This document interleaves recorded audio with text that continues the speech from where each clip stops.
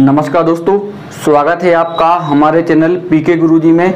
आज के अपने इस वीडियो में हम एक मैथ का प्रश्न सॉल्व करने वाले हैं। तो चलिए पहले प्रश्न को देख लेते हैं।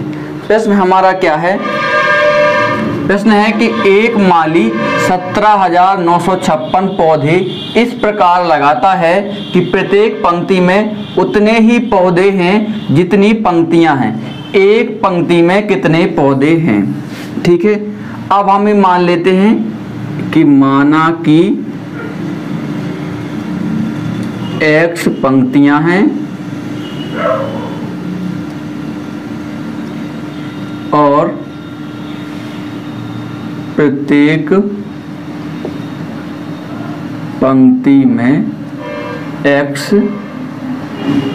पौधे हैं। ठीक है? एक्स पंक्तियाँ हैं और प्रत्येक पंक्ति में एक्स पौधे हैं। तो अब कितने टोटल पौधे हो जाएँगे? एक्स पंक्तियों में एक्स पौधे। बराबर, प्रश्न ने कहा है कितने पौधे लगने हैं? सत्रह हज़ार नौ सौ छप्पन। एक्स का गुणा जब एक्स में होगा तो क्या आएगा?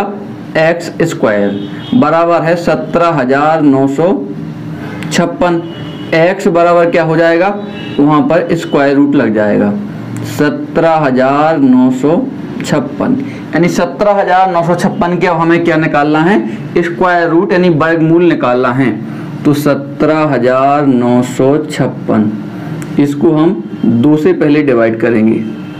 दो से किया, आठ बार जाएगा, एक बचा, नौ बार जाएगा, एक बचा, सात बार जाएगा, और फिर आठ बार जाएगा। फिर दो से करेंगे, दो चौको आठ, दो चौको आठ, दो अट्ठे सोलह, दो नम अठारह। अब जाएगा सड़सठ बार, ठीक है? और क्योंकि सड़सठ का ही वर्गमूल होता है तो यहाँ सड़सठ एकम सड़सठ। क्या निकल के आया? एक्स बराबर दो गुड़ा दो गुड़ा सड़सठ गुड़ा सड़सठ। तो x बराबर क्या हो जाएगा? दो गुड़ा सड़सठ। जब गुड़ा करेंगे तो सात दूनी चौदह छः दूनी बारह एक तेरह यानी इतने पौधे हैं और इतनी ही पंक्ति हैं। तो क्या निकल के वैल्यू आई? X बराबर 134 आया। यानी 134 प्रत्येक पंक्ति में पौधे हैं और 134 ही पंक्तियाँ हैं। ठीक है?